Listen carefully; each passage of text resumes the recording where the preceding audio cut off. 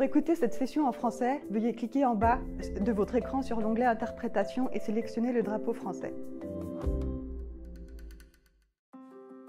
Hello. Bonjour. Barry Saleho. On behalf of ICLE Africa, The African Center for Cities, Our Future Cities. Red Cross Crescent Climate Center and partners. We're excited to welcome all of you to the Rise Africa 2022 Action Festival.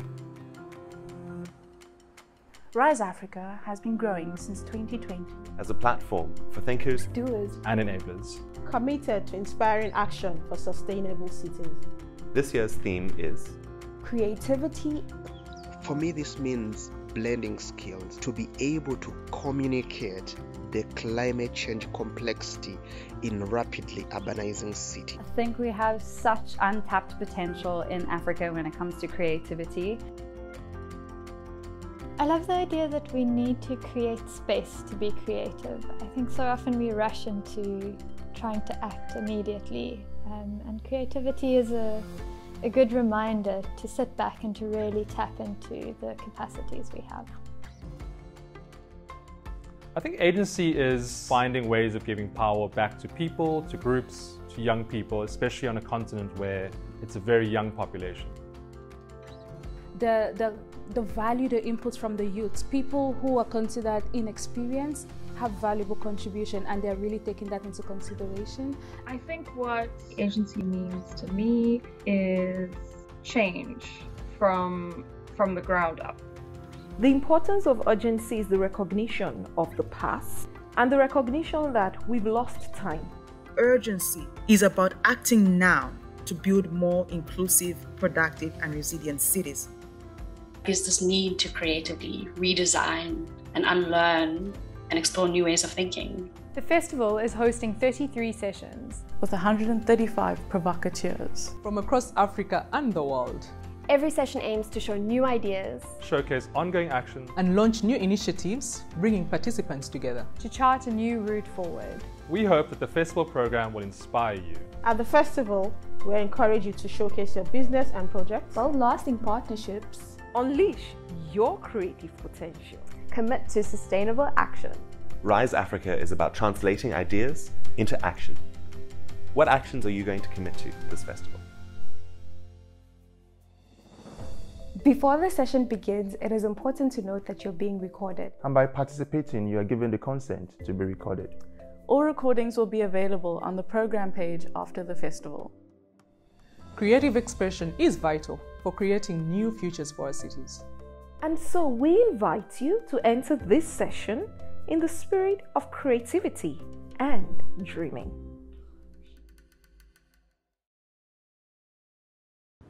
Je vis avec un mal dont je ne suis pas le porteur.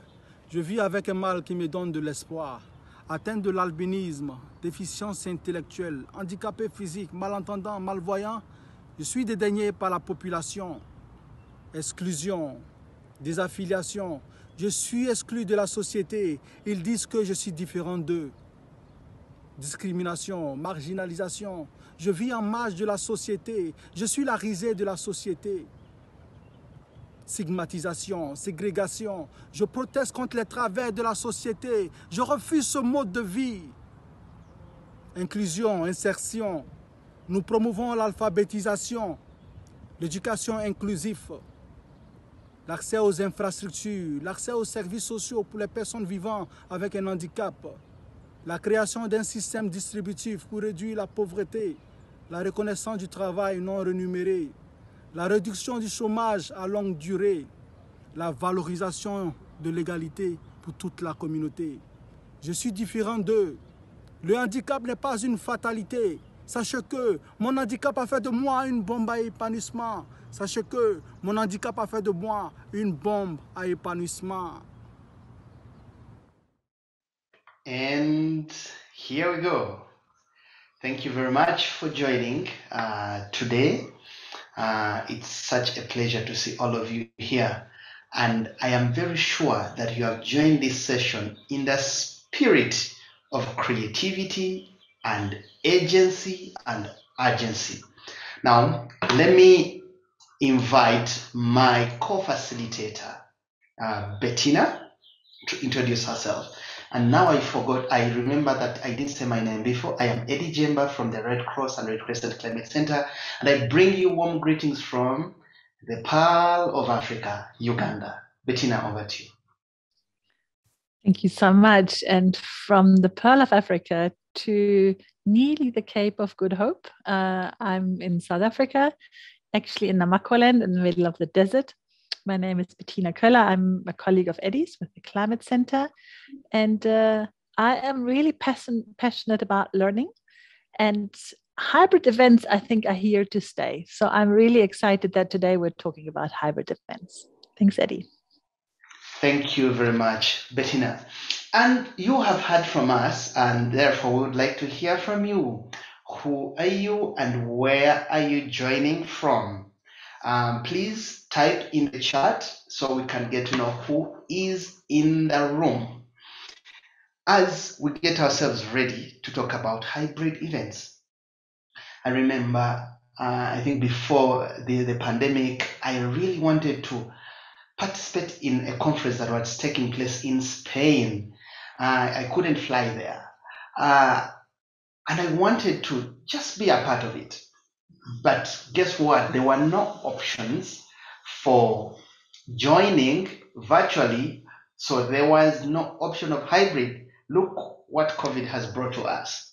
Anyway, thank you very much, Femi. I can see that, um, yes, I can see Olufemi.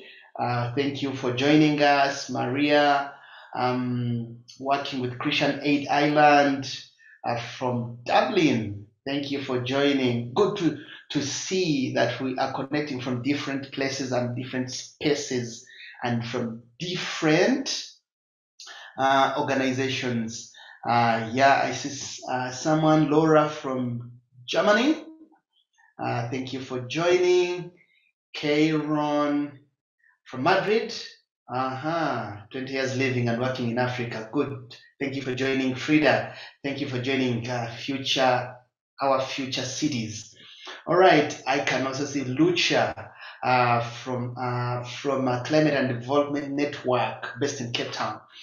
All right. Well, I hope you get an opportunity. You take this opportunity to introduce yourself. That's another way of connecting, uh, where we connect together. In uh, in the meantime, Bettina,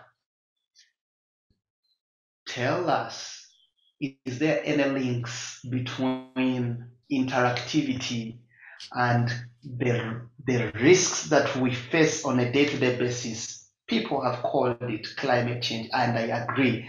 Um, is there any relationship between this creative communication and climate change? Um, yes, of course there is. I'm hoping you can see my screen. Can you see it? Mm. It looks very strange on my side. Let me try again. It does. It does look strange. All right, let me try again and see if you can see it now. Yes, that's good. Perfect.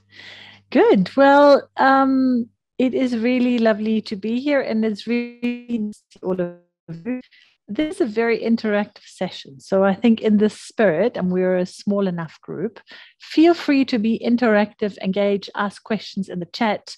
We really want you to participate. We have a couple of exercises where we hope you'll be able to share your insights, your pearls of wisdom, and your knowledge.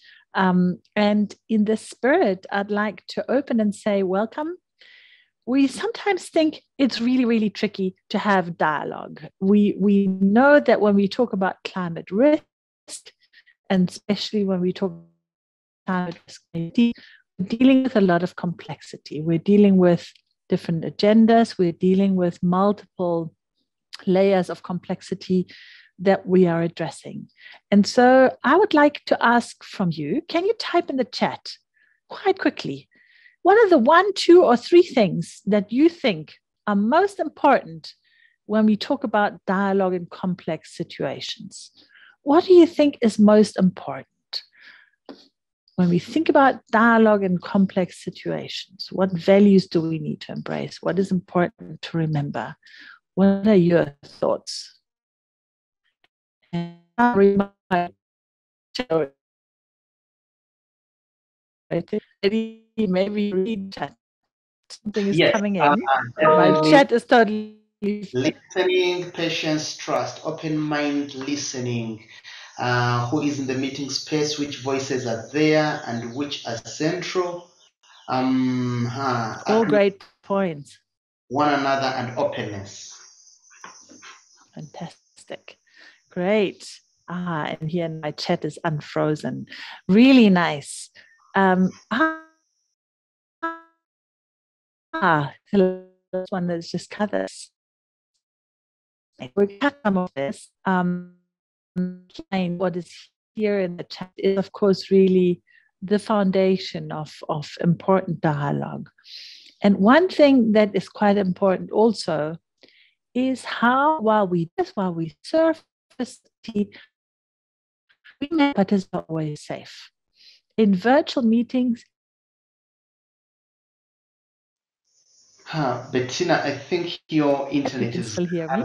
Ah, yeah, it skips a bit, but let's try again and see. In virtual meetings, that's the Let's last thing. hope. All right. So, in virtual meetings, of course, we also need to make sure we are safe, we keep everyone safe, we allow candid dialogue to emerge, and at the same time, we really struggling. Eddie, shall I maybe ask uh, someone else to share the screen while I speak? that. Let me do that.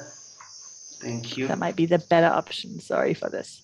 Oh, no, So sorry. maybe while Eddie gets ready, I wanted to just flag, and maybe I can just talk, Eddie. Um, that's fine for the next two slides, just to get us into right with this.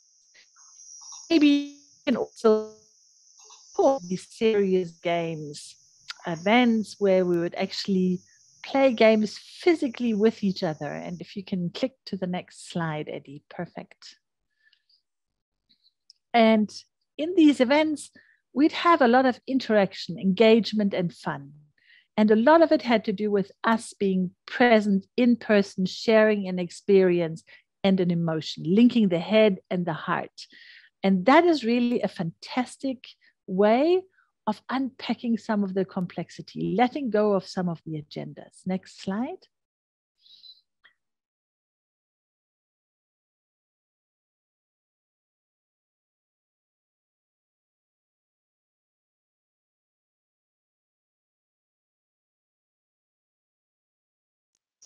Okay. It seems that Bettina's internet is frozen. Well, I'll pick it up from here.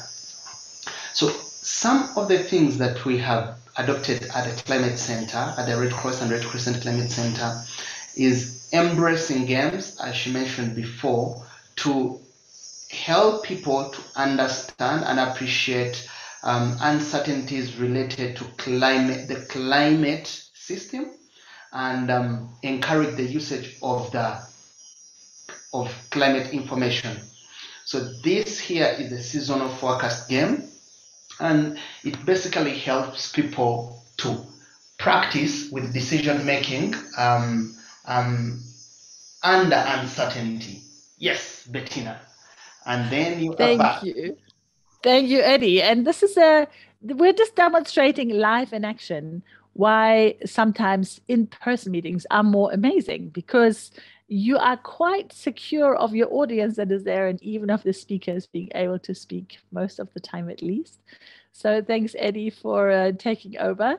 Can we go to the next slide? So we can unpack this amazingly in person and we can do monitoring in person where actually people have to be physically at the same space in the same place and where a lot of learning can take place. And what we would like to explore in this session is really to say how can we bring some of this amazingness of the face-to-face engagement and some of the convenience of virtual meetings into one space? So we can draw on on the one side the real sparking of emotions of people being physically able to engage with each other while also having through hybrid meetings the way of linking different groups or communities or individuals vertically to be learning. And this is what we're going to talk about uh, in this session. And with this, I'll hand over to Eddie to guide us through the speed dating. Thank you very much. Well, we would like to send you in two groups. All right. Uh, we are. I'm going to invite uh, my other technical help, Georgie. She will be sending us into groups of three. When you are there, please share one of your of your experiences, uh, either um, it could be online event, facilitating an online event, organizing design and facilitating an online event, and a hybrid event. So it can be one of the two or both, depending on you know what you choose. But share one story, uh, uh, and any challenge that you encountered, you'll be there. You get an opportunity to meet someone. Hopefully, you have not met since the conference began, and then you have 10 minutes of storytelling one another. What's your experience with online meetings? What's your experience with hybrid meetings? And what challenges did you encounter? When we gather back, we'll get to hear from you what transpired when you were uh, speed dating. Um, there you go. You must be seeing an invitation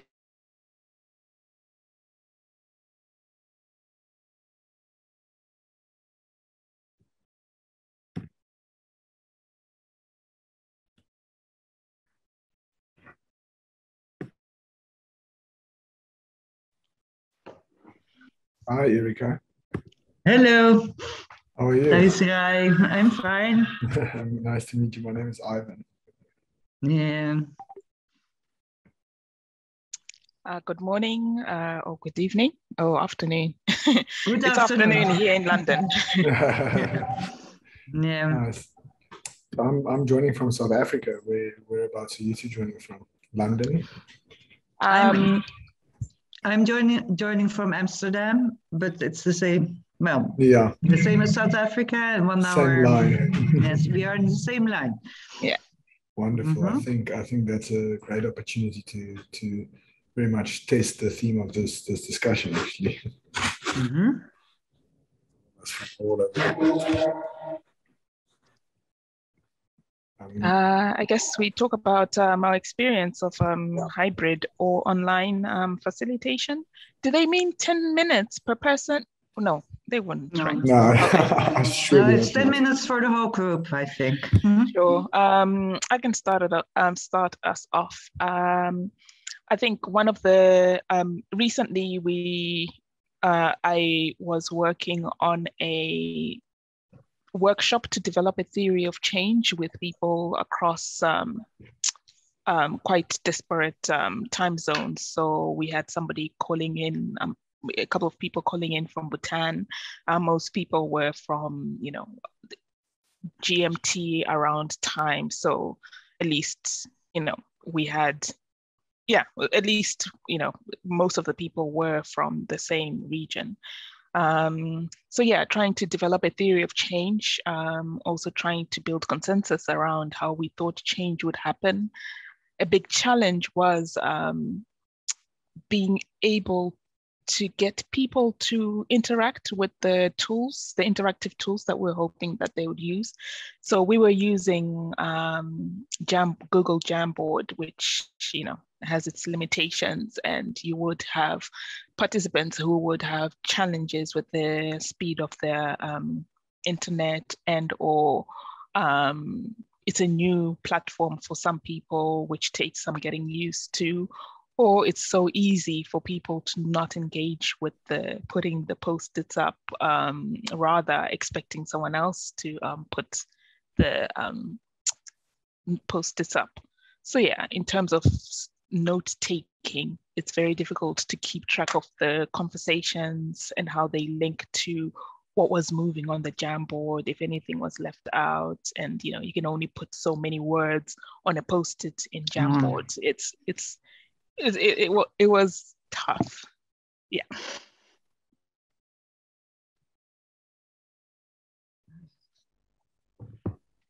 Yeah, no, absolutely.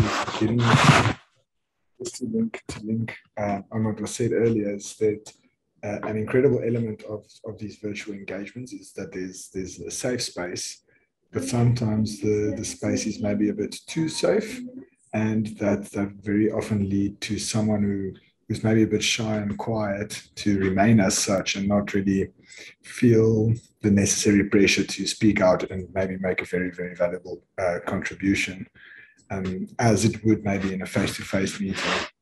Uh, we had an experience with colleagues from Kenya and uh, not too long ago, which was the first time I'd ever attended a virtual meeting where myself and two of my colleagues were the only um, three people that joined on our computers, and the rest was was happening in person.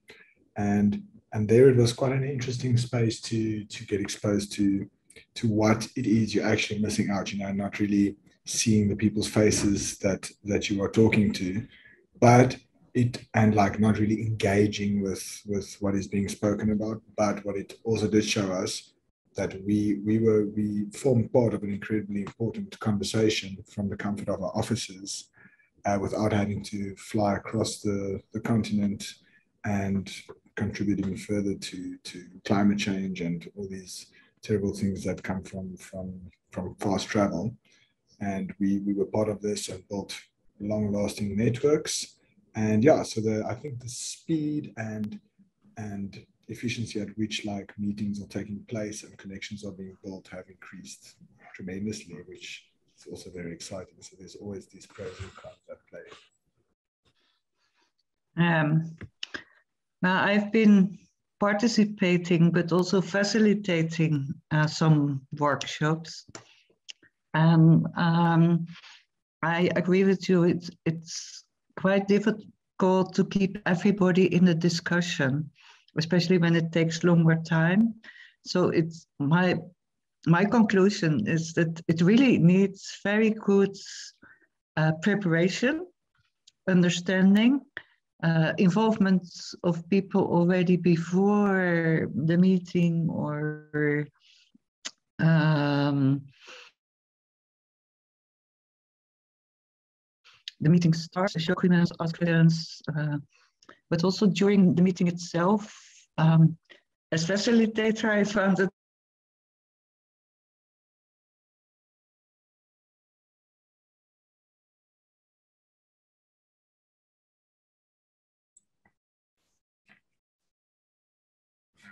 I think, I think we lost you there. Tanisha, are you? Are you also okay? Some very shared some connections brothers. Oh, oh, she's back. You're back. Sorry, we lost you there from. Yeah, I'm back.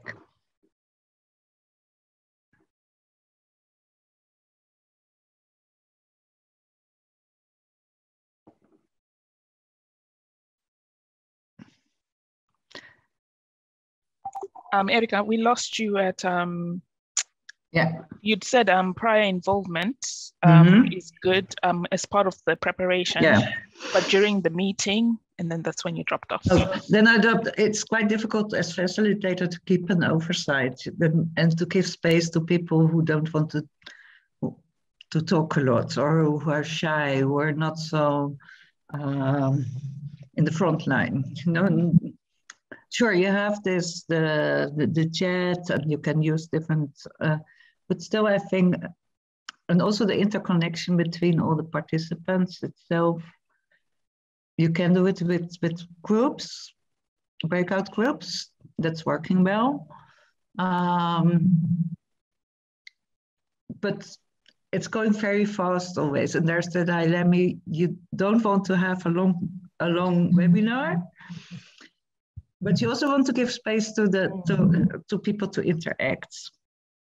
Yeah, that's a big frustration of mine. Well, yeah, I'm like, uh, you know, if you're going to have a dialogue, you need to have enough time for people to speak. But Yeah. you're always, you've only got three hours, and then, you know, you have to throw in a break because there's only so much stamina that people have at looking at screens.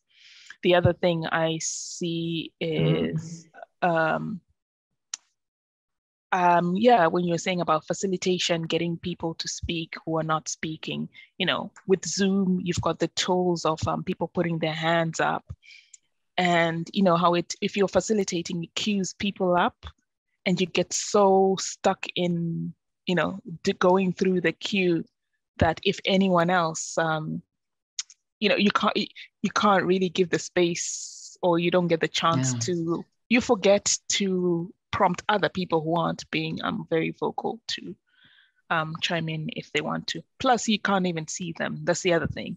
Yeah. Um, in my workshop, very rarely did people put up their camera, um, whether it was didn't want to or couldn't. And you know, you have some people driving during these calls on their mobile phones. So yeah, a lot of it is out of the control. But I do love that anyone from anywhere in the world can be, yeah, albeit with some difficulty at the table. Whereas, you know, we're here in London having our, you know, wonderful webinars talking about people's lives and, you know, in countries where they can't actually come over to our offices. Yeah. Anyway, so yeah. Yeah. Absolutely. It's almost like these these trade-offs between the benefits and then the the like the, the negative parts of virtual engagements is, is quite interesting. And it's amazing to see how platforms such as Zoom and Skype are almost evolving and adapting uh, in ways in which they, they almost try and ensure that efficiency in these virtual engagements are maximized through the different functionalities that they've introduced, which I'm only getting familiarized with quite now. And it's quite quite incredible, and I'm very very excited to see where where these platforms will be in in five to ten years. Like if you think about it, it's only two years since since they've almost almost scaled Just up. two years. Um, I was Yeah. just gonna say that It's crazy. uh, it's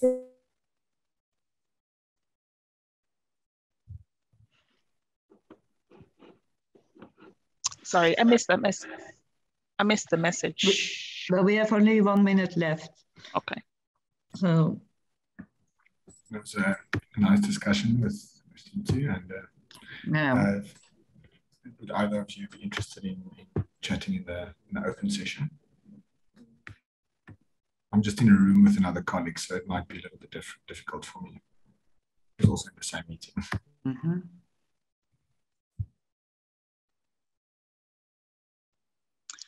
Um, okay. Yeah.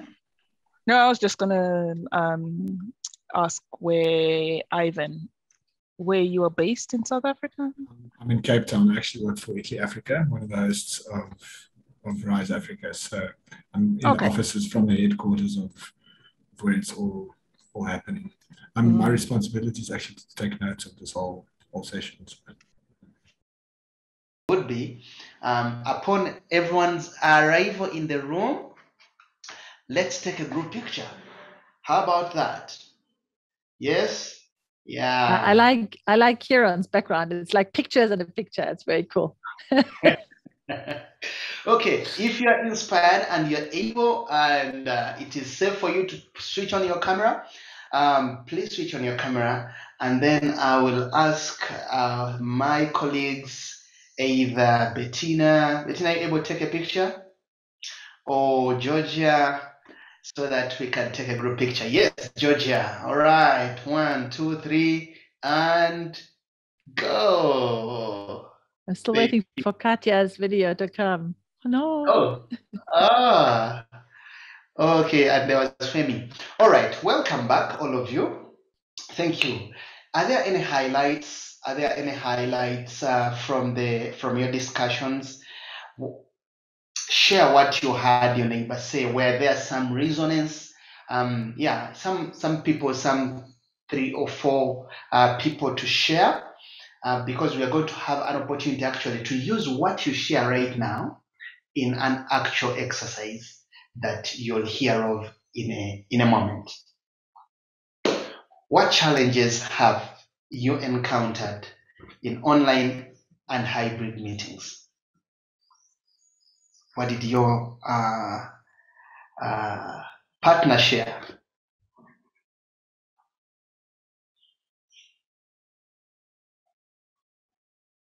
Yeah. I think we have one challenge right here. You ask a question and no one says anything. It's definitely a great challenge in virtual meetings. Totally. Thank you for demonstrating and making your points so clearly. Maybe we have some other points to add. But I also remember Bettina actually, and I see Ivan's hand is up, ready to break the, the, the silence. I remember when you also, one of those meetings, when you say that silence can be embraced in the virtual meeting and then, you know, not pushed away, but rather it's part of the it's part of the engagement. Yes, Ivan. Thanks so much uh, for that. yeah, just to to link on uh, what something that, that Bettina also said yesterday to like how, how incredible it is about virtual meetings that we that we have this uh, capacity in them to feel really safe and to, to feel very open for for engaging and new knowledge. But but something that I've that I've realized is very often I, I get the, the, the feeling that virtual meetings are almost a bit too safe, where it where it allows people to almost just hide behind a black screen and and not really engage. Whereas very often those are the people with a with a very interesting and and captivating ideas that can really add a lot of value to to a conversation. And whereas in in-person meetings, when the whole room looks at you and there's this kind of physical element behind it, you feel sometimes under the pressure to to say what you really want to say, but you just don't have the courage to say. Whereas I think it's easy to to use use the camera or function to escape that responsibility. yeah. Oh, thank you very much, Ivan, for sharing that. I I agree. Before I think all of you came together, you said I miss the hands um, you know, meet someone for the second or third time and like, hey, pleasure to meet you. And indeed, as you mentioned, that you know, when we are there physically, you read the body language, and then you know, there is safety. Uh, you can read safety. Yes, K- Karen. Thanks, Eddie. Thanks, Eddie. Yes, a lot of the points that you've made, I think certainly we shared uh, in our group discussion. One thing that we did say was that in a hybrid meeting, if we'd had, if we've already had the chance to meet participants previously in a face-to-face situation, then online interaction becomes much easier. We've already built up that crucial trust before we move to online in a hybrid situation. If we're meeting people for the first time in an online situation, then building that trust and, and that confidence takes longer. So those just some of the things that came out of our discussion. Thanks very much, Karen. Um, Laura? Yes, thank you, Eddie. Um, in the group, um, Lucia, Barbara, and, and I, we share some ideas about hybrid uh, meetings. Uh, on the positive side is the people who can uh, not be able to be impressed, uh, uh, to, to join the meeting physically, they can join uh, online. So that is a positive side. Um, also that um, uh, when there is a hybrid meeting, it is possible also to use some online facilitation um, strategies and, and, tools, like for example, uh, Google Slides. You can use Google Slides in a hybrid meeting, and you can also use the in the breakout rooms uh, these Google Slides to work together. Um, also, uh, you have that it is possible to have in the uh, when you have hybrid you can uh, put the on the people who is online in working groups and they can join maybe with a zoom call or they can join with a whatsapp. Um, but there must be one person responsible in the working group in order to know when the person wants to talk maybe intervene or something. Um, then also um, we have that uh, the challenge of time difference because if you have uh, organized a meeting in New York, that was example that Barbara raised, and you start and you make a whole day meeting on a hybrid for people in South Africa, for people in Asia would be an amount of challenge. So she was suggesting maybe to try to um, figure out that the time would be five middle hours for everybody, that everybody can join in a comfortable time. Um, and then in the case of hybrid meetings, it was very important in the case of uh, Last Barber experience to have two big screens in the room.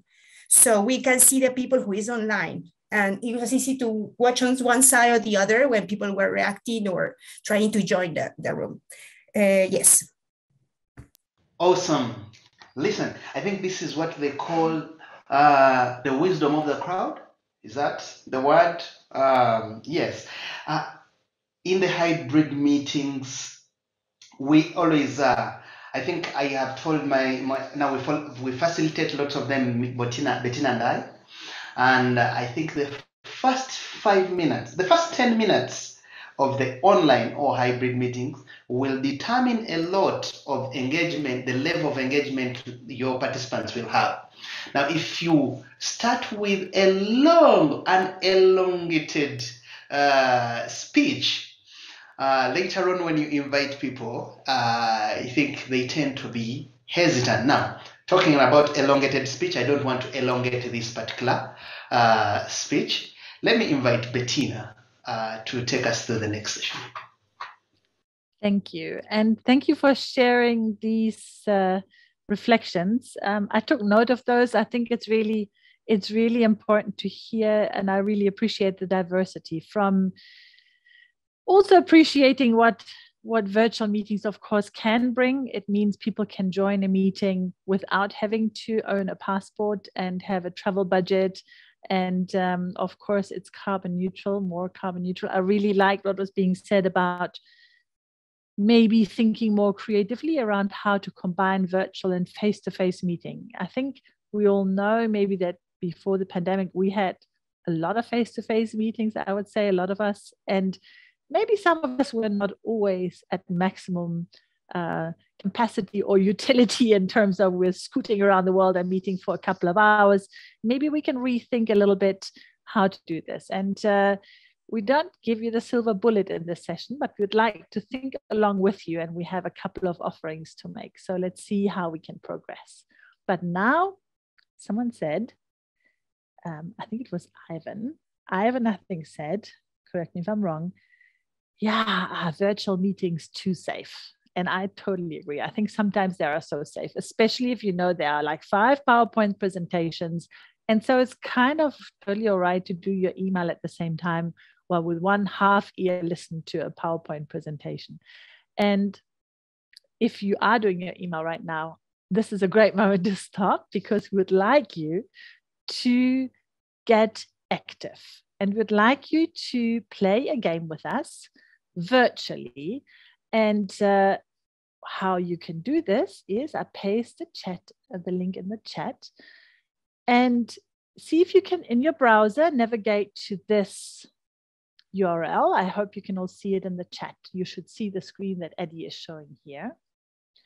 This game is called Headlines Game. And what we would like to do in this game is to hear from you. It is the year 2030. And there are headlines around how we are working together in 2030. It can be as utopian and amazing or as dystopian and depressing as you think you would like it to be. Remember, a headline is different to a title of a journal paper. It is not very long and it is not complicated. In fact, it is often short and sharp and maybe teases you a little bit, makes you curious. So you're a journalist in 2030 and you are ready to write some headlines. Are you ready?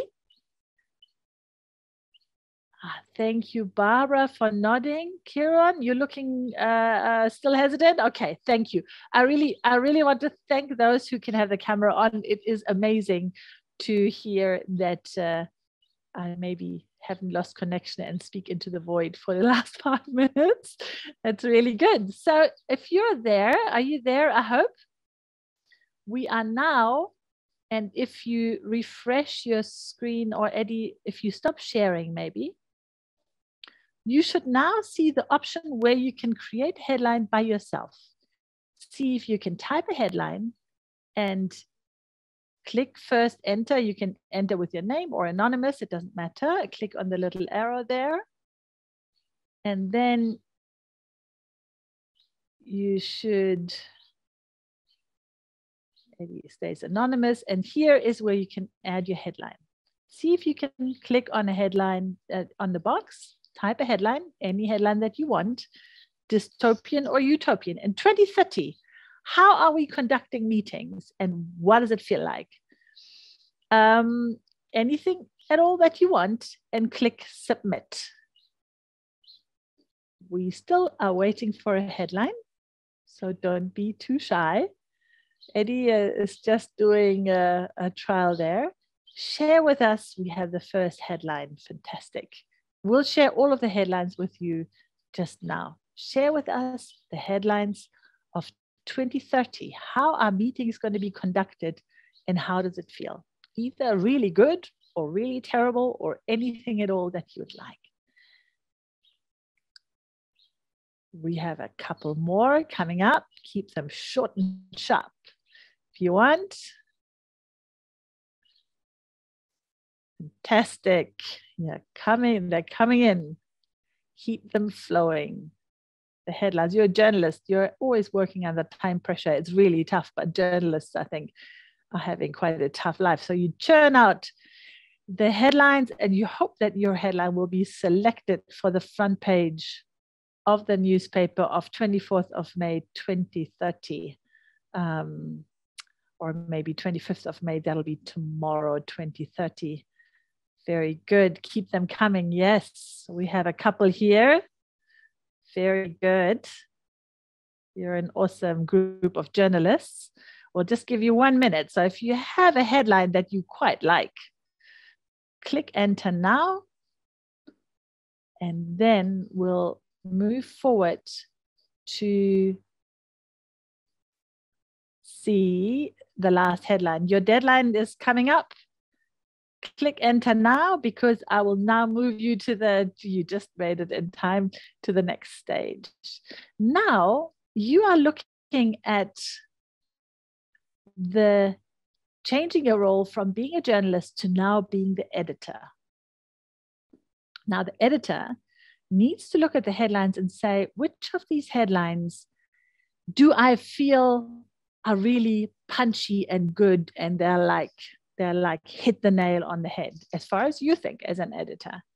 And for those, you give them a little heart. So you should be able to see the headlines of others. Do you see the headlines of others? Not yet. You do? We see them, yes, we do. Fantastic. So, do we do we click to see the rest? Do we do the arrows? Yeah, you should. So what are we supposed to do? Click click the heart if we like them. If you like it, click the heart. Okay. If you think no, no, no, no, this one, no, this one wouldn't quite make it. You can't select all of them, right? You're an editor. You have to make a choice. So uh, feel free to move back and forth. You can unclick a heart if you want to. Um, and the publication deadline is pretty soon. Have a look and see if you can really look at most of the headlines. And see if there are any you particularly like.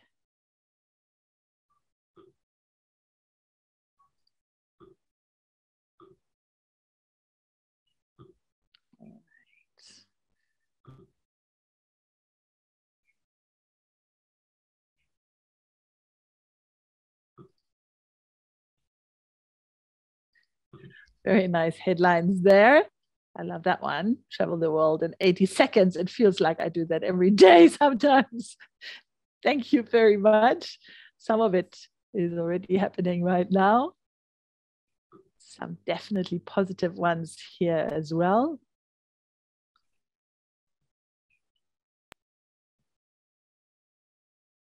Just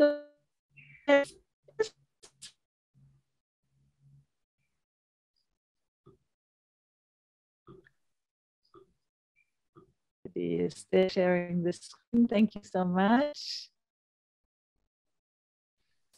Good. I will then advance. Shall I advance? Let's have a look at the top headlines. So we have some that are definitely the front runners. I will share our top ones with you. Um, everything that got. Bettina, should I share the screen? Yeah, maybe that'll be nice. Unless everyone can see it already. Um, let's see. So the top runner is staff know nothing about each other. I think I feel already a little bit like that. Obviously, that resonated with a lot of us. I can see Frida's already driving like that was exactly your point, I think, earlier. Yeah, Eddie, shall we go to the next one? And feel free if you want to have any comments here, you're welcome to um, add any comments. The next slide. Do I need to advance it on my side?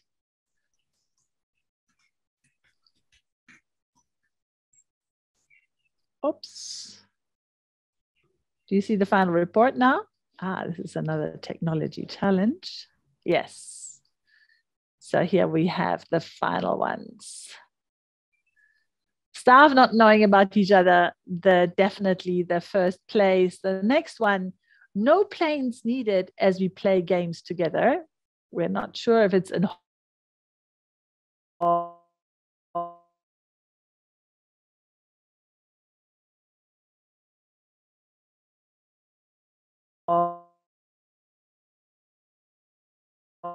we are saving the planet, definitely a more positive one.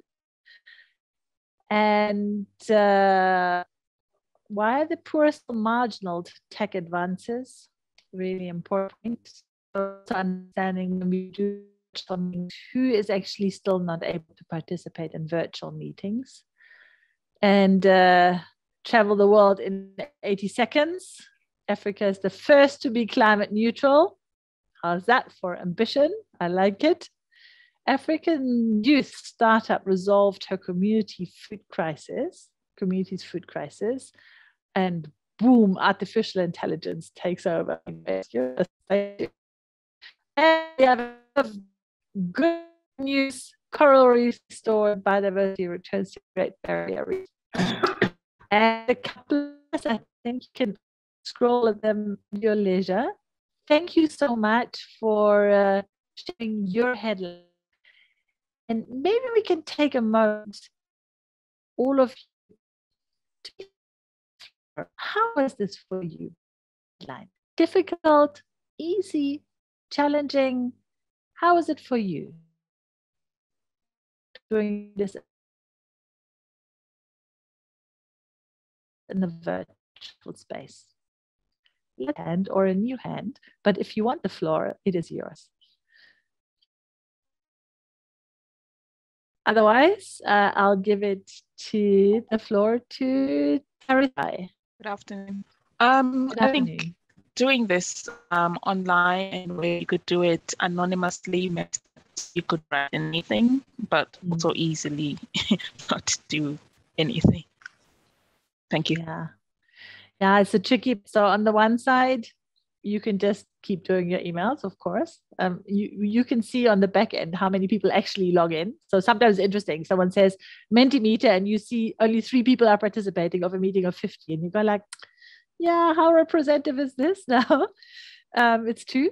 But also, I like what you said. It can pro- it can provide real anonymity that you will not have in a face-to-face meeting. So if it's about delicate issues, it is true. It is a, really truly allows you to be anonymous. Yeah, thank you for those points. Any other thoughts or reflections on the headlines game? Uh, Barbara, we can see you speak. But, yeah. I'd love to know what you use something like that for. I thought it was really mm. fun, and I could see that it could be useful if you were trying precisely to give a space to different perspectives on an issue. Mm. Um, but it doesn't and then and then you'd still have to have the conversation on it. Be interested exactly. to know exactly what you use it for. And and just by the way, was that Mentimeter? And if not, what's the software? you know, how did you set it up? It was fabulous. Yeah. So um, um, to answer your first question first, the way we use it is really to say, let's say you have a really tough issue that you want to, a, a complex challenge that you want to tackle in a virtual meeting. You can use this to surface some hopes, but also maybe some something people are really depressed or frustrated about because it is anonymous and because you can say something tough by it maybe being a little bit funny as well. I mean, the first one, staff not know staff know nothing about each other it's quite a tough one, really. It's you're saying like we can't take it anymore, right? And maybe it is it is really something like this. If if this was our topic, we would now say, let's unpack this a little bit. Let's have a group to say what is happening on the social side when we have social engagements only virtually. How can we mitigate it? What would be next steps?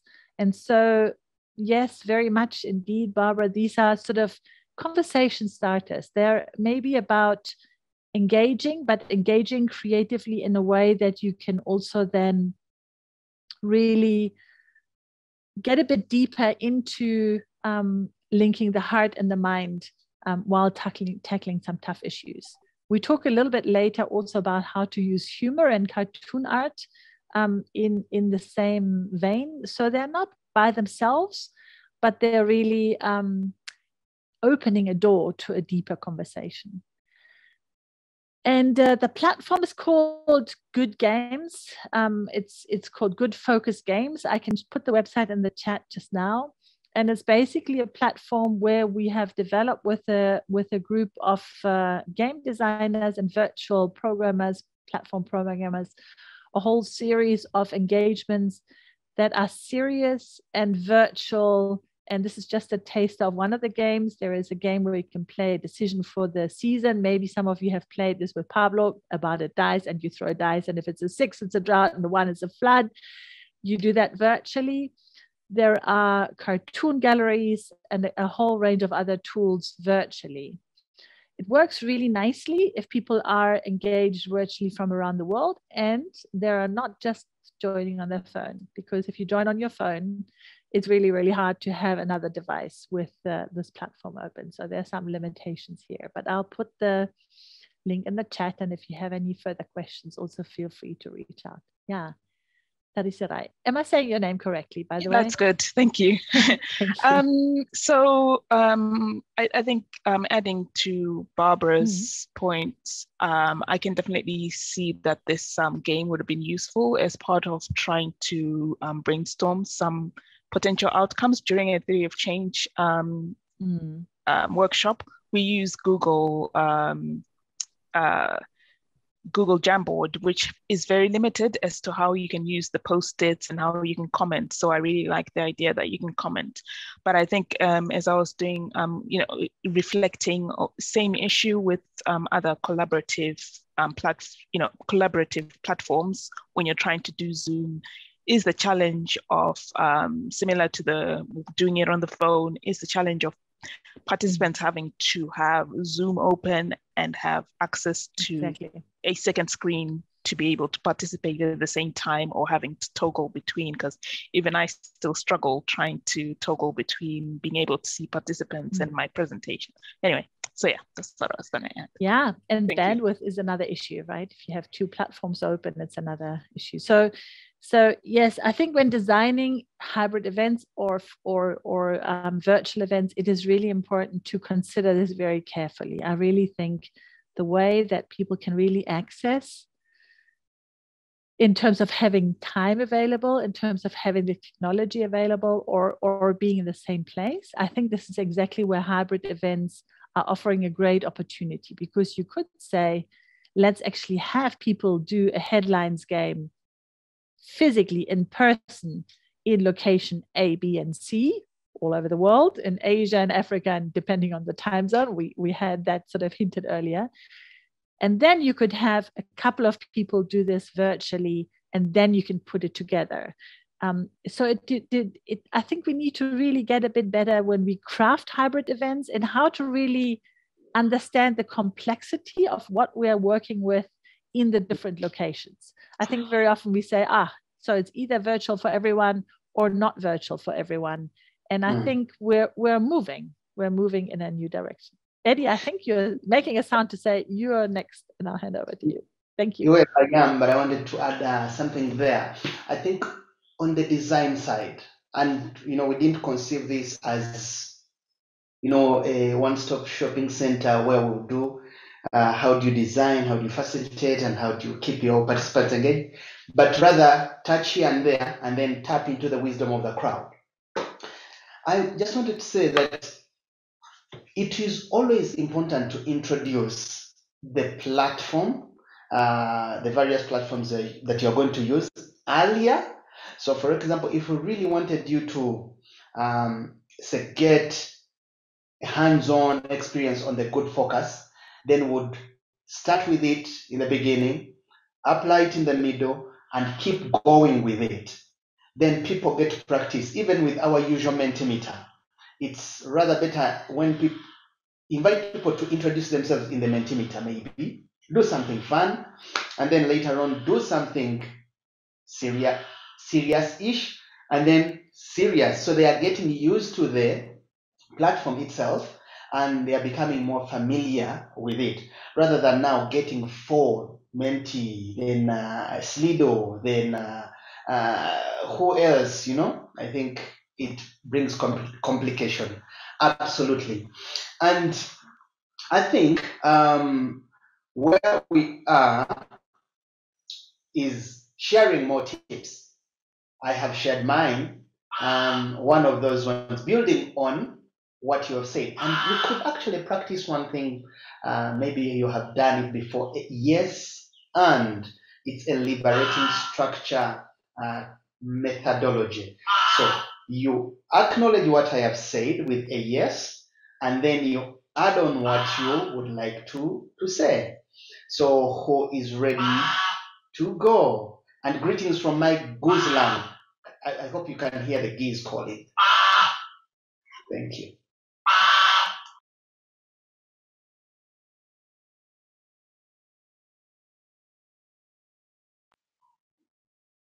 So continuing tips. Yes, Lucia. Are we playing the yes and? We were embracing the silence as we wait for the next speak, uh, someone who uh, can say, share a tips or, or challenges, you know, probably how do we go about design and facilitation of online hybrid events. Okay, my apologies for not jumping on it then. Um, uh, so yes, and uh, um, I think we really have to consider also the um, uh, yeah the different connectivity issues that people may have from the, the locations where they're connecting from. So uh, it is, uh, yes, a little bit tricky if there are people in, uh, in New York that have perfect connection and then people in, I don't know, even in Namaqualand, as we have seen today with Bettina. Um, and so in a, yes, in a face-to-face -face meeting, these issues do not come up. Thank you, Lucia. And I'm waiting for the yes, Bettina. Yes. And I also think it's really important to understand what you are trying to achieve with your meeting. So, who needs to be there and what is the most appropriate way for them to connect? Deborah. Thanks, Eddie. Um, so I wanted to pick up on uh, Barbara mentioned earlier this question of having two screens, for example, in a in a room. If you're going to go hybrid, which I think is more and more the case into the future, hybrid within a face-to-face setting. And I think one of the things that I, I was listening to a colleague this week struggling with somebody who'd come in who was um, a senior member of the organization and had come into a workshop um, and the placement literally of where the laptop is in a room um, and it was it was behind the facilitator. Um, and somebody was running up to see the chat to check on what this person might be saying. Um, so working with the distraction problem of technology within a room like that but also literally the physical placement of power where people on screen and people in the room have different forms of power and managing that quite sensitively, I think is going to become increasingly important. Thanks. Thank you very much, Deborah. If you were close by, I would have sent you a hug, but now receive the virtual one. Um, Got the, it. The, thank you. The balance of power. Yes, and I experienced the challenge of balancing power. I think in this case, I was in virtual, and then there were people who were physical, and we were the forgotten participants in in many in many cases. Okay. Oh yeah, I wanted to make a point on the other speaker. So how do you balance the power? And then also, how do you, you know, minimize the interruption? Otherwise, I would unmute and say, hello, yes, on that point, while, and then interrupt, you know, a very nice conversation going on on the tables. Um, uh, thank you for that. And then you mentioned about, oh yeah, about uh, having two screens. Now, I have a screen on this side. Um, I have a screen on that side so you can see that screen. But the reason I actually have this screen is uh, is to ensure it is for internet connectivity and power outages. So this one is a laptop down here, and it is connected to the internet of my cell phone. So when power goes off, my desktop will be out, and the in main internet service provider will be out, and I'll be and I'll leave the meeting that I'm facilitating unceremoniously. So to avoid that, in terms of tips and tops, I connect on two devices. But yes, over to you, Barbara.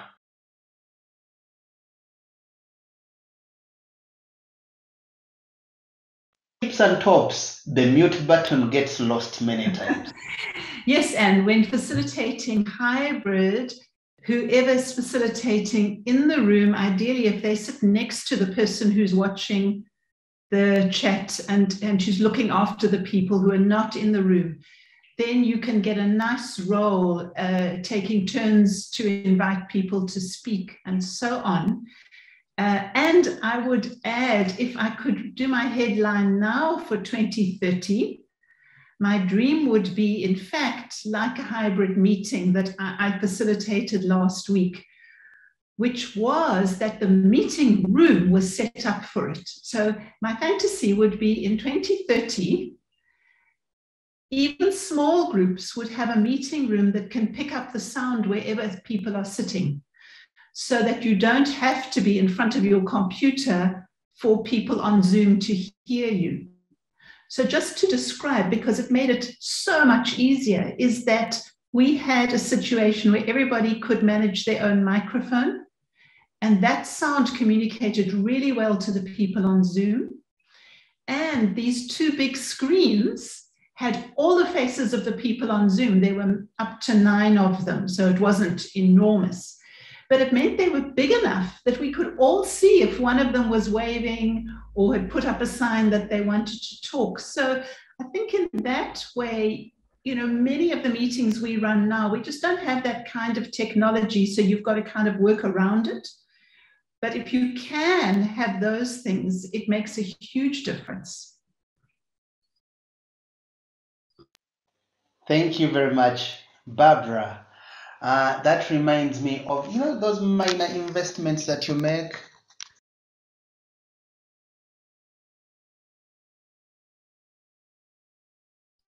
Now, Eddie, okay. you're on mute. I, yes, I did this. I did. I invested in this little uh, conference sort of uh, room uh, uh, speaker, which can pick up the sound around and it has some sort of noise cancelling except for the geese. It doesn't filter out the geese outside. Um, yes, anyone uh, inspired to share some tips and tops?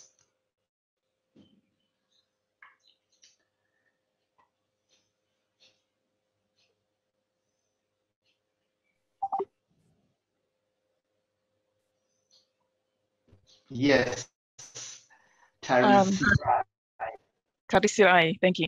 Um, yeah, uh, yes, and um, a good tip is to be prepared for um, the worst. Um, yeah, be ready for the worst.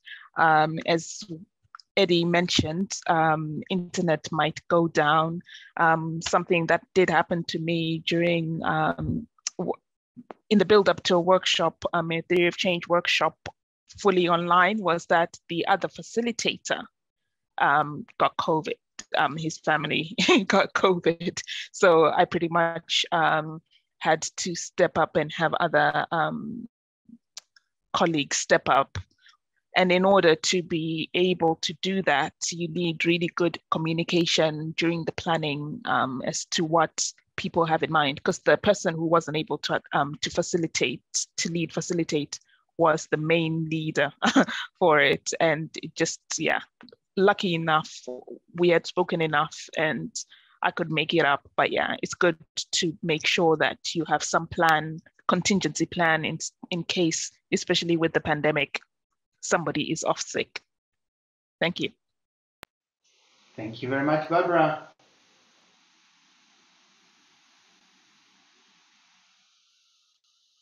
That was a that was a good comment, uh, Teresa. I really I really think the contingency planning is something we used to also do for, for in-person meetings, right? We would say, what if we get there and there are power cuts and the projector like dies every time there's a power cut? Or, you know, how can we make sure the there is enough circulation or we have enough space for breakout rooms? In a way, one needs to be more sharp um, in the virtual space. And I I really like what Barbara had to say is like how the technology can really help um, make it much easier. And and I think often we think about hybrid as in either a lot of people in one room and some people joining virtually. But I really like the idea. I think that uh, I heard resonate uh, to, through what you've said, Barbara, to say maybe we can have a couple of rooms with virtual participation and really good audio visuals, and we can have these rooms connect with each other um, in an effective way. And that is maybe also where navigate time zones more effectively. That some people have um, sessions before, um, then you have a joint session with everyone there, and maybe the ones who've just woken up continue having another work session later. Um, I think I think it's creatively, and I think that is you have your head. Over to you. Sorry, I do. Um, yes, and um, it occurs to me that uh, what Barbara was, um, Barbara, what you were describing about having rooms set up for hybrid uh, meetings, I I work in an organization where this is the norm within my organization. So we're based in Edinburgh and London, and we do have rooms that are set up with microphones in the room, so you don't actually have to be laptop to do this. And I think um, what then occurs to me is the importance of understanding what other um, what your other participants have in place um, in order to shape your planning and your facilitation to suit. Um, I guess it's also part of the planning for the worst, but yeah, it's good to understand what everybody else has because you know your own perspective probably isn't going to be yeah mm-hmm. And I think sometimes we need to maybe even challenge ourselves a little bit and say, so, okay, we know there are five people in location A, they don't have access to this equipment. Well, then, is it possible for that day to rent a workshop venue with audiovisual facilities, professional support, good internet, and people will travel to that venue that is in their city, maybe, um, or in their region, and then can participate fully? Because I think what happens is that if you can't participate fully, it really skews the power balance a lot. The ones who are having better access to technology, internet, being heard more clearly and maybe more frequently. Yeah. Let's uh, advance a little bit, shall we, Eddie? Yes, please. Um, and I lower the hand. Okay. Would you like me to share the screen? Yes, please. The ones with the ducks, please. I'd like. Exactly. I wanted to give you a couple of uh, um, thoughts as food for thought because we also talked about facilitation. And I thought when we talk about hybrid events, I think we have to be, and I think we already alluded to this in the in the session, we have to be extra sharp in how we are facilitating this. So here are a couple of tips I'd like to share with you. Next slide, Eddie. I'll do it quite quick. So we started doing the yes and, and I think in hybrid events, it is even more important to make your partner look good. And your partner in this case is not just your co-facilitator. Your partner in this case is also whoever is in another location. May it be the location where people are meeting face to face or in several locations where people are meeting face to face. I think it is really, really important that you think about how you can navigate this. And when technology fails, to be creative and to be gracious about it. Um, let's move to the next one. Be very present. I think from the facilitation side, hybrid events are the most exhausting events that you can possibly facilitate. You have to take stock in what's happening in a physical location in the room. You have to make sure um, this uh, you, you're in touch with what happens virtually. And really, I think it's important that this is actually done by a facilitation team that is very sharp and focused on um, having a finger on the pulse um, of the different spaces. And then maybe we see opportunities that we didn't even know were there. Next one.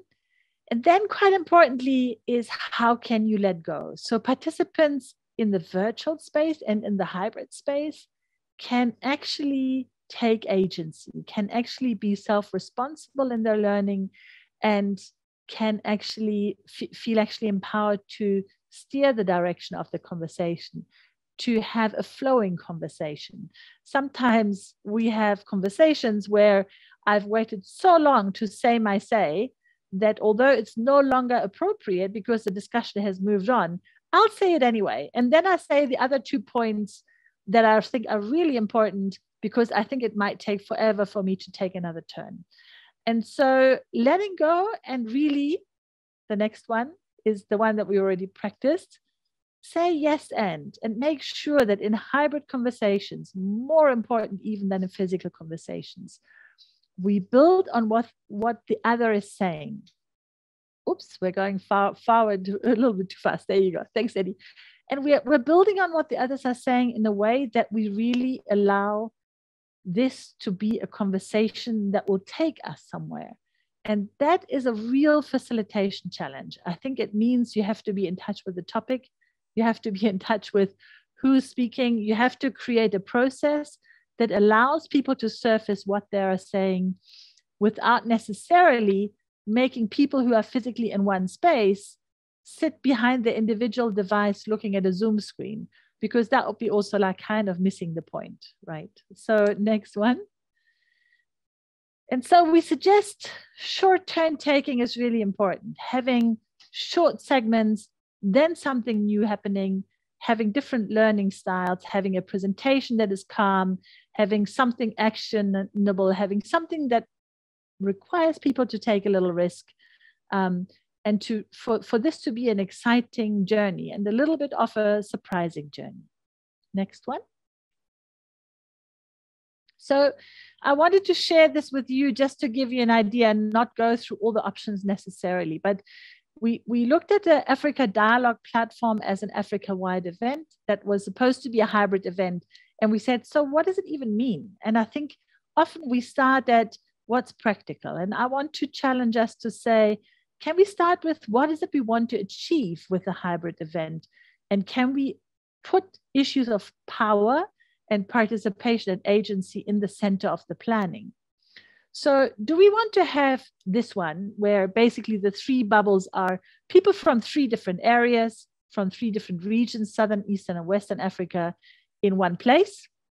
And we have a very small group that joins virtually because they couldn't, they weren't able to travel. That requires a very different program design than the next slide. Maybe three separate hubs in East, West, and Southern Africa, and then just on the occasion for an hour or two a day, a virtual link up where others can also join. Next one. Or do we say, actually, it's mostly virtual, but we have these three places where we have a couple of presenters in person and that will make the whole event a bit more lively? Or next?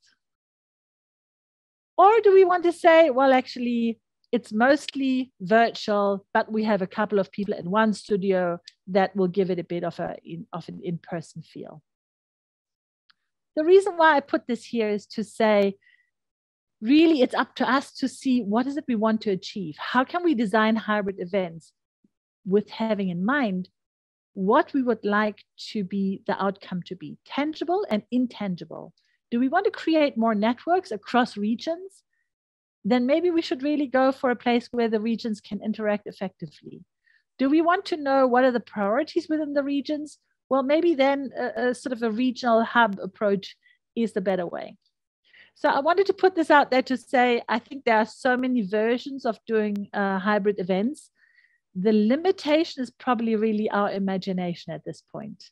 Um, and I really want to say there is not one way of doing hybrid events, but there are so many different ways. And what I want to say is just be kind to participants that when they travel to a location and are in person, they don't feel they're actually in a Zoom call, because I think that is really a terrible fate. And um, then uh, we need to appreciate that people have taken the trouble to travel and incur the carbon to travel and really make the most of the opportunity. Uh, next slide, Eddie. What helps, thank you, being a, a, a, a sort of a glue sometimes in this, I wanted to share briefly is how we can use humor in these processes. Next slide. So I wanted to share with you an approach that we did this year, and uh, this is that uh, we we asked um, a cartoon artist Mangena, you can see him here in his self-portrait, um, from South Africa to join a learning lab process that was taking place in Lusaka, and to join the project team. So often we have illustrators do something for us that we would then like to use, and Mangena joined all the meetings. He was part of the discussions. He went to the learning lab and he was actually physically there in person. Some people could join virtually, some people were there in person. Mangena was there in person. He created cartoons, the cartoons sparked discussions, deeper unpacking. They're quite delicate matters of governance and um, issues of severe flooding um, and uh, the risk it poses to informal settlements in Lusaka. And I think it is really important to say that with more and more hybrid events, it is useful for us to think more creatively around how do we actually have and how do we um, put together our facilitation teams. Um, because I think humor, art, um, creative elements that keep people awake and engaged and allow them to link heart and minds are really uh, what we need going forward. In hybrid events, in virtual events, in face to face events, uh, they're always appreciated. Next slide, Eddie. Thank you, Bettina.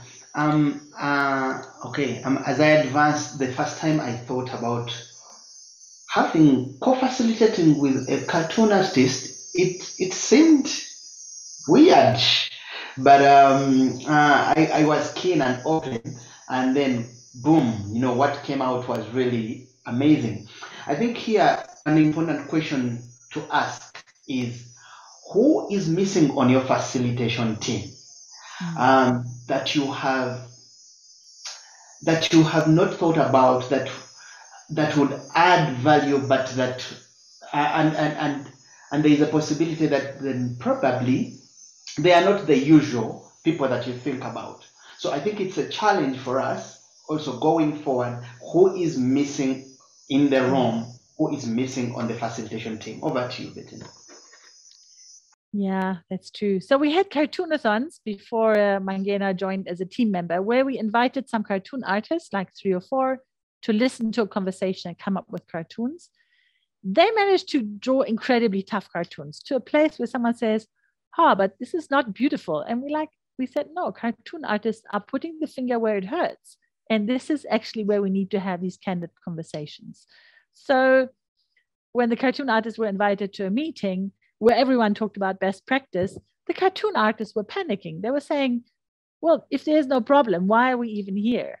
And why is everyone talking about best practice? And we said, Yes, so actually, let's talk to the organizer some more to say, please, we, we know we know we're not just having bad practice, we uh, best practice. Oops, we also have challenges that we are facing, and so how can we make sure we are more open about it so the cartoon artists can listen and really surface what is there? And uh, this one is quite an interesting one about the funding stream for adaptation, locally led adaptation. And uh, Next slide, Eddie. I wanted to also say that we can also think of hybrid events on very high levels. For example, doing a cartoonathon with the COP presidency last year in Glasgow on preventing loss and damage, where we had a cartoon cartoonathon virtual and in person. And so you can link people to very high level global conversations effectively. And I think that is really something that we can possibly really bank on a lot more. Next slide. So how that could look like is like this. You can have the cartoon gallery. You can see what the virtual participants are seeing on their screens. And the virtual participants see what I see here and what you see in the shared screen. You can actually see people in the room. And it, it is a little bit like a feeling if you're there as well. And I think this is really important when we design virtual events, hybrid events, that we understand what is the experience of a participant in the room and what is the experience of a virtual participant. Next slide, Eddie. And then we had a cartoon wall in Glasgow, and this is where most people took loads of selfies. And I think we also need to understand what are people's needs and desires, and how can we create spaces, virtual or physical, that will um, meet some of these uh, desires. And some of these may be starting points for deeper conversations. And with this, Eddie, um, I want to say maybe to conclude, I think the future is probably what we make it. So you can see the caption. I'm not sure if you can read it. The caption says, "No thanks. We're we're going to create some alternative options over here. Want to join?" And I think this is the challenge I'd like to put to all of us is to say, can we think about better ways of doing hybrid meetings? Can we design them more innovatively? Can we make them exciting and creative um, engagements that are really effective because we do not have the luxury of time? Thanks, Eddie. I hand over to you. Awesome. Well, travel around the world in 80 seconds travel around the virtual hybrid facilitation in 80 seconds. That's how it feels in my head right now. Uh, that we've been all around in talking about you know the design, talking about the technology, talking about the um, processing and keeping the participants engaged, talking about small uh, meetings and then the huge, you know, uh, UNFCCC meetings. Thank you. Thank you very much, Bettina, uh, for helping us to travel. I guess we probably were out of time. I, this is when uh, the, the conversion from the East African time to the, the normal time uh, challenges me. But how do we get from here how do we move forward? I think I would not I, I will not share my thoughts, but I'll, I'll be keen to hear what you think uh, uh, about the hybrid and virtual the hybrid and online facilitation. What thoughts are moving in your head? How do we move forward? What resonated with you? What is more? And yes, then we can wrap it very well. Zifo Zondo, greetings to you. Jessica, greetings. I'm sending my greetings right now. Salam, greetings. Lucy, Katia, yeah, all of you, greetings. Uh, thank you for joining. Please, fire any thoughts? I was just saying the blah blah so that I can hear your thoughts. How do we move forward? what resonated with you? And I can see Laura says sometimes it seems we are always running out of time, but there are moments when we need to take time. Thank you very much. And Barbara said, is there some place that these kinds of cartoonists advertise themselves? Bettina, I think you can actually now respond to that one.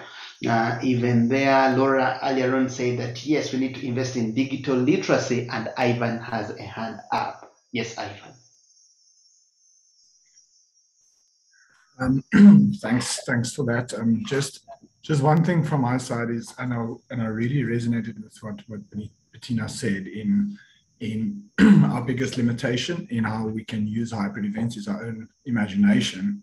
Um, how we can use hybrid events to to make engagements and governance more inclusive.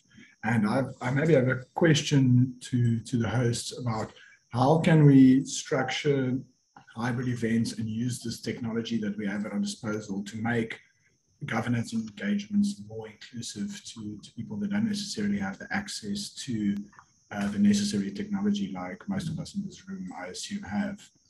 Um, which to me we, it's, it's, a, it's, a, it's an area of a lot of possibility. But yeah, I just thought if you might have any thoughts on that. Hmm. Thank you.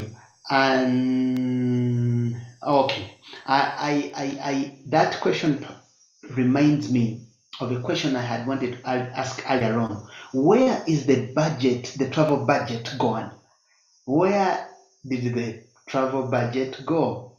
I remember when COVID just hit, you know, there was this, how do, how are we going to implement, but then the travel budget, okay? Uh, could the travel budget be used to make sure that people who do not have access to internet, the appropriate gadgets can have access to those. Thank you very much. Uh, Bettina, if you may reflect on that as we come to the end. It's... Yeah, I think uh, I, I, I, like I like Barbara's uh, takeaway. By the way, design, design, design. I may be a bit biased in design, but I really think we think often about practicalities before we think about design and if we could just change the order i think that'll already be amazing actually. And to really start with why are we doing this event in the first place? What are the tangibles and intangibles that we would like? And then to say what would be a good way to get there is we, we do it in most other decisions that we're taking and, and only often in meetings when we organize them we start with the logistics and how many slots we can fit in a six hour day. Not deciding that we want to have a six hour day but sort of starting with that as a sort of a, a, a rigid starting point. So I, I really think uh, um, it's spot on. Um, I think uh, Ivan, the technology is maybe something. If we're serious, we need to invest in it, and if we're serious, we can invest in it also in a temporary way. We can find hotels, and I think more and more so. I think where we can find places where people can have good access and where they can maybe join a meeting. And maybe that means people travel within the region. Maybe it means someone takes a bus or a ship or a train to be in a place that is two hours away.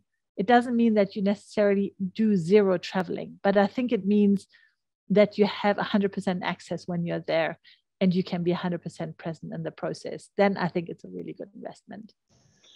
100% present in the process. Thank you very much, Bettina. Um, we come to the end of our session, lest I don't be offered another one tomorrow.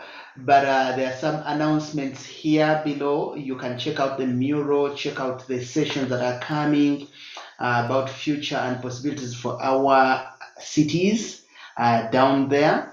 And I would like to take and a hashtag from Lucia who says it will be experimentation and learning curve.